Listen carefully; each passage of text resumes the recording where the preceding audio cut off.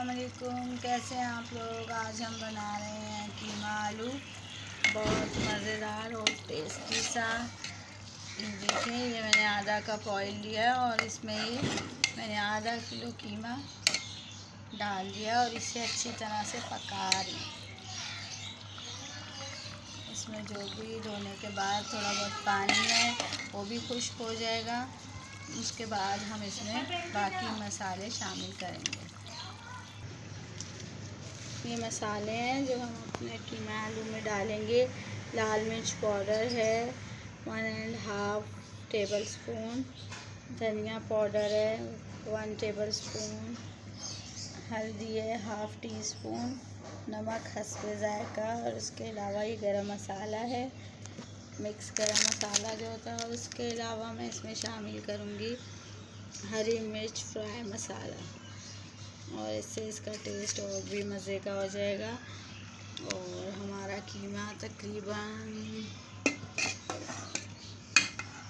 देखें कीमा अच्छी तरह ऑयल में मैंने फ्राई कर लिया है। अब इसमें मैं ये मसाले शामिल करूँगी।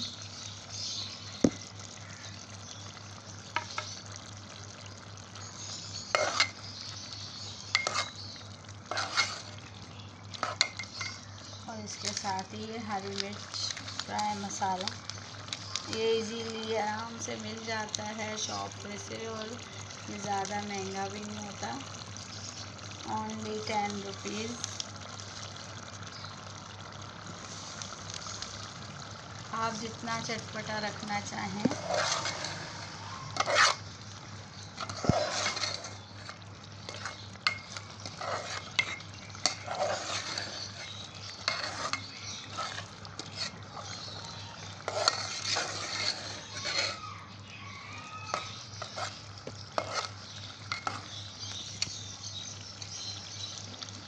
मसाले डालने के बाद ये भुन रहा है। इसके अलावा ये हमारे पास है प्याज, टमाटर, लहसुन, अदरक और उसके अलावा हरी मिर्चें। ये सब चीज़ें मैंने मिला के पीस ली। इसमें मैंने दो बड़ी प्याज ली हैं और एक लहसुन की पोती। उसके अलावा पाँच छः हरी मिर्चें हैं और लहसुन, अदरक का उसके अलावा अदरक का पेस्ट है। और टमाटर मैंने एक पाव लिए हैं जो इसमें शामिल किए और इन सब चीज़ों को ग्राइंड कर लिया है। अब ये भुन जाएगा थोड़ा और ये देखें बल्कि ये भुन रहा है और मैं इसमें ये मसाला शामिल करूँगी अभी ये देखें कलर कितना अच्छा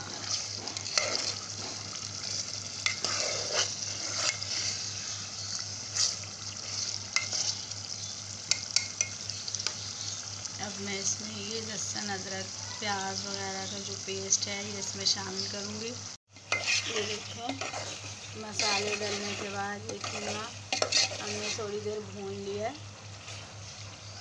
और अब हम इसमें प्याज, लहसुन, अदरक का पेस्ट टमाटो पेस्ट सब चीज़ें इसमें शामिल है। मैंने अभी आपको बताई थी इसमें डाल रहे हैं।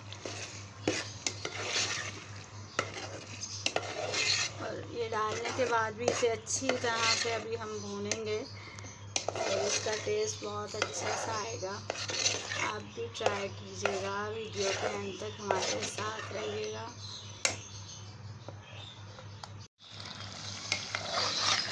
ये देखिए हमारा खाना भुनना शुरू हो गया। मसाले डालने के बाद हमने इसे अच्छी तरह से भून लिया है। अब मैं इसमें आलू शामिल करूँगी। ये देखें आप, कितना मज़े का लग रहा है ये, और तैयार होके और भी अच्छा लगेगा। ये देखें अब हम इसमें आलू शामिल कर रहे हैं। तो मैंने इस तरह से थोड़े मोटे मोटे पीसेस काट लिए हैं।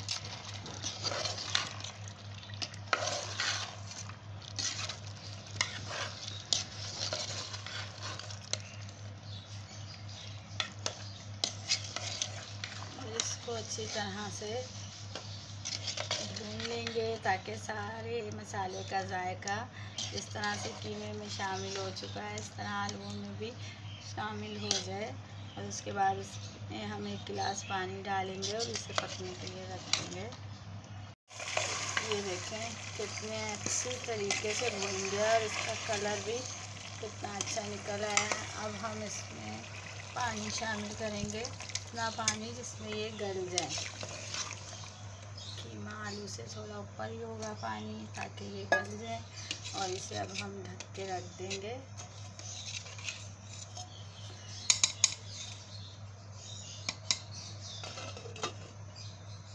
आलू तैयार हो चुका है और इस पर मैंने हरी मिर्चें और हरा धनिया डाल दिया है अब इसे मैं ढक कर रख दूँगी पाँच मिनट के लिए ताकि इसमें इसकी खुशबू आ जाए और अब हम इसे सर्व करेंगे।